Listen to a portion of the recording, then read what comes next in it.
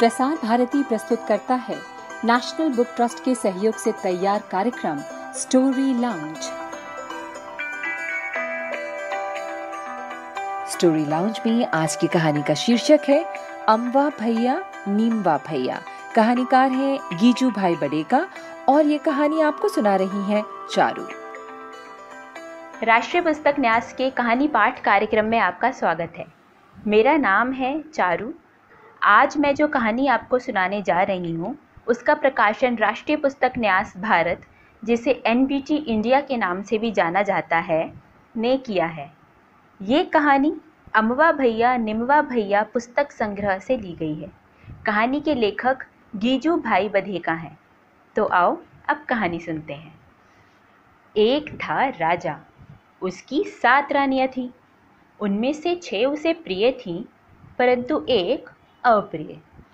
प्रिय रानियों के रहने के लिए बड़ी बड़ी हवेलियाँ थीं, नौकर चाकरों की भी कमी ना थी।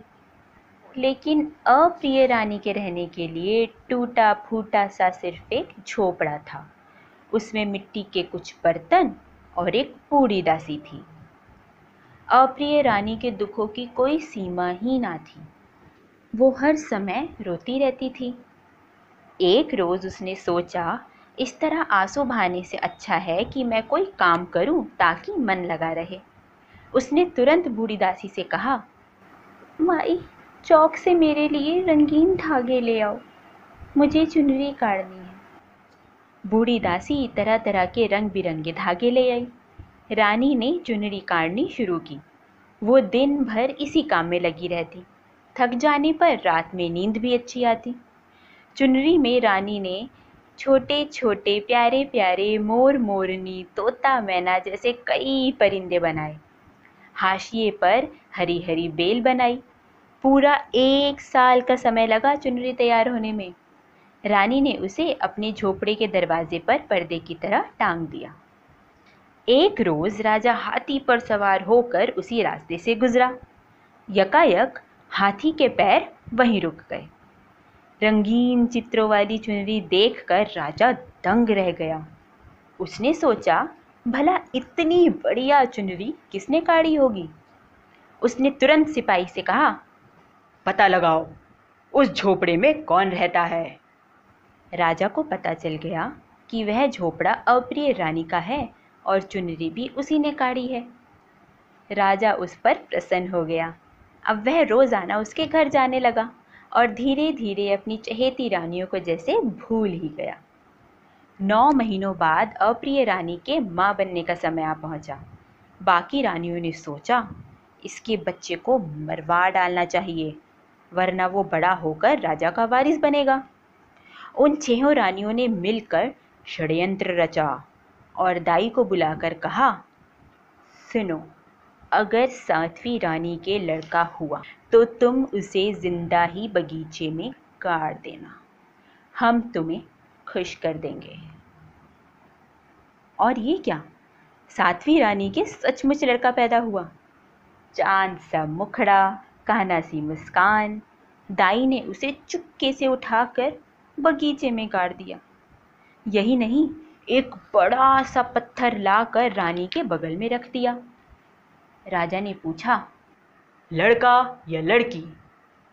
दाई ने कहा, पत्थर है महाराज। राजा बेवकूफ़ था। उसने मान लिया कि रानी की कोख से पत्थर ही पैदा हुआ होगा। एक साल और बीता। रानी को एक और बेटा हुआ। पहले से अधिक सुंदर, काना से घुंघराले बालों वाला, लेकिन दाई उसे भी बगीचे में गाड़ आई। थोड़ी देर बाद राजा आया। उसने उत्सुकता से पूछा, लड़का या लड़की? जवाब वही मिला, पत्थर है महाराज। समय के साथ रानी ने छह राजकुमारों और एक राजकुमारी को जन्म दिया। सब राजकुमार एक से बढ़कर एक, और राजकुमारी इंद्र की अप्सरा समान, लेकिन दाई के दिल में दया कैसी? वो तो एक के बाद एक सबको बगीचे में गाड़ दी गई। साल भर बाद बगीचे में सात पेड़ उगे। छः पेड़ आम और नीम के और एक इलायची का। छह भाइयों के और एक बहन का।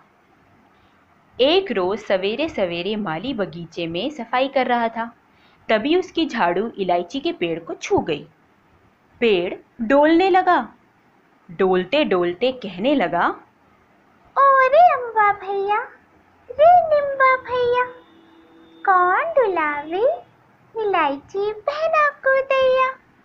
आम का पेड़ बोला प्यारी प्यारी हमारी गुड़िया रानी ये है माली हमको पिलावे पानी।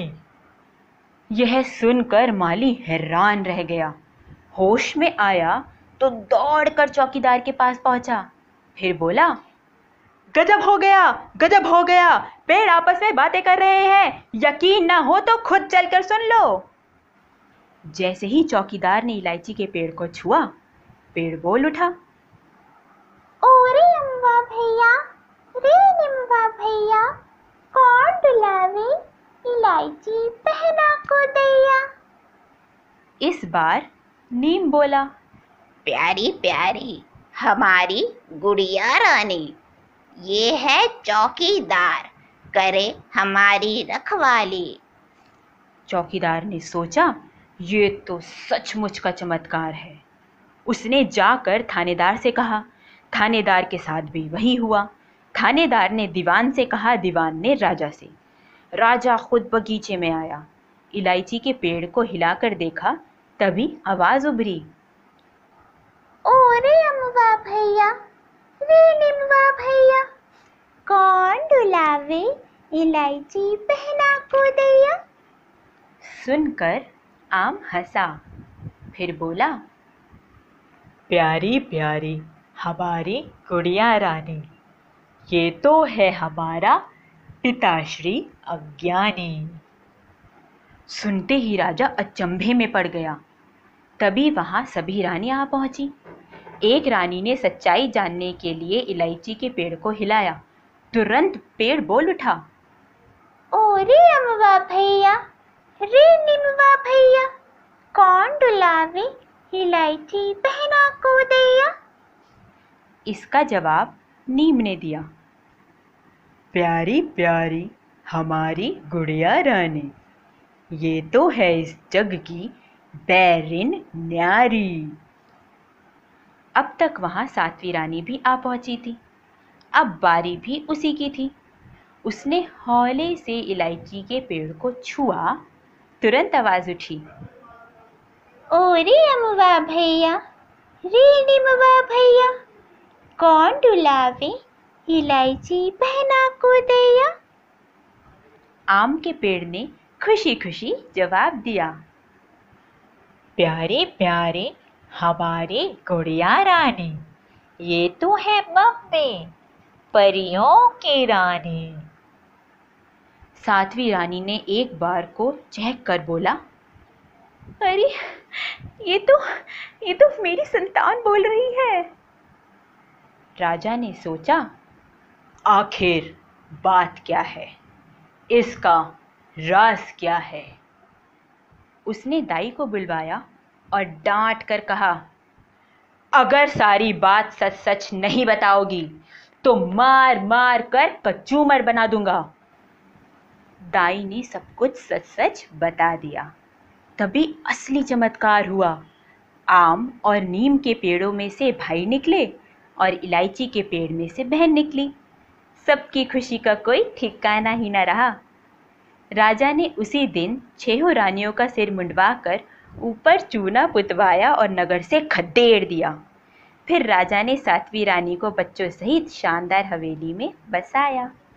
तो ये थी कहानी अम्बा भैया निम्बा भैया, जो आप राष्ट्रीय पुस्तक न्यास के सौजन्य से सुन रहे थे। आशा है आपको कहानी पसंद आई होगी। धन्यवाद। अभी आप सुन रहे थे गीजू भाई बडेका की लिखी कहानी, अम्बा भैया नीम्बा भैया। और ये कहानी आपको सुना रही थी चारू। ये कार्यक्रम आकाशवाणी के विदेश सेवा प्रसारण की प्रस्तुति थी।